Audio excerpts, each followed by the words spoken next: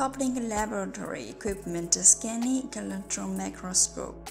Hello everyone, this is a precision instrument scanning electron microscope in Toplink Laboratory. This scanning electron microscope has a magnification range of 56 to 300,000 x. First, put the product to be tested into the instrument. It is controlled by computer for 360 degree around detection. The main inspection contents include the surface morphology of the sample was observed by magnification,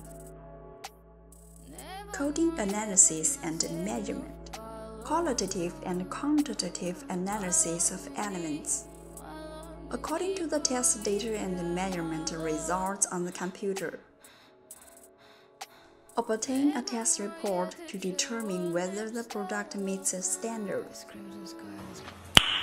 Nice.